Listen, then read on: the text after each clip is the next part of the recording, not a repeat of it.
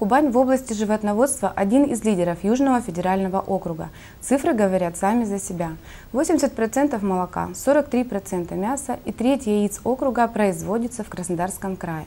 Повышение продуктивности в молочном скотоводстве – один из приоритетов краевой политики в сельском хозяйстве.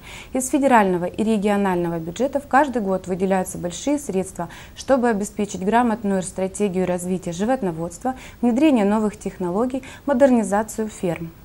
Свой немалый вклад в успех отрасли вносят животноводы Славянского района. Мы побывали на молочно-товарной ферме закрытого акционерного общества «Приазовская», где есть чем гордиться. Кипит работа на этой ферме. Прямо с поля сюда доставляется свежая растительная масса, где она утрамбовывается в силосной яме – очень важно соблюдать технологию, чтобы силосование прошло успешно. Силос – это прекрасная альтернатива свежему зеленому корму зимой. Сочный корм, богатый витаминами, пойдет на корм скоту и в межсезонье поддержит надои.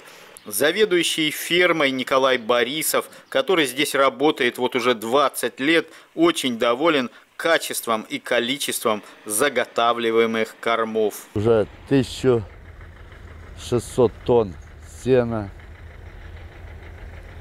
Сенажа уже мы сегодня уже 600 тонн заготовили, только начали.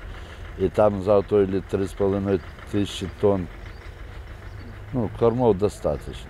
Коллектив уже подобрался нормальный. Кирюшина Галина Алексеевна, Ласюк Елена Антоновна. Это очень добросовестные доярки. Ну, здесь сейчас телятница у нас уже больше года работает.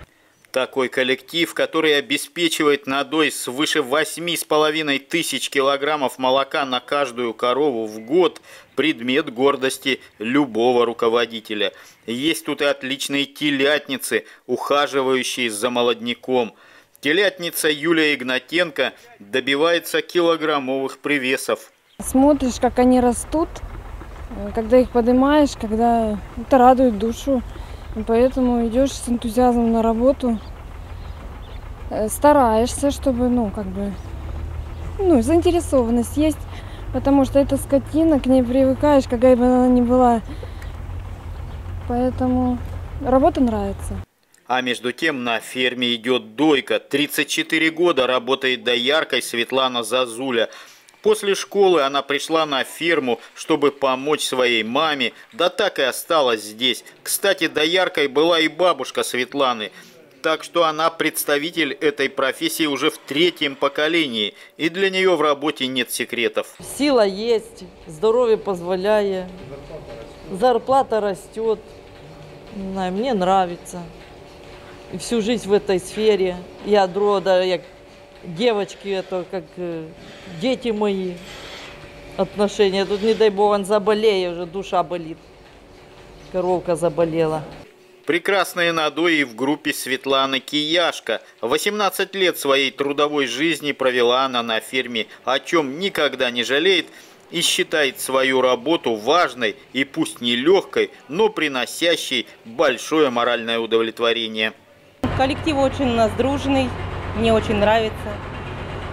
А трудность какая? Что рано вставать, это трудно. Ну, мы уже привыкли, так что самое главное, я люблю свою работу, очень люблю. Мне нравится и коровы, и, и обходительность. Ну, все, все мне нравится. Более 23 килограммов отменного молока получают тут каждый день от коровы. А с начала года дойное стадо в 400 голов дало уже 5455 килограммов от коровы, что превышает прошлогодний показатель.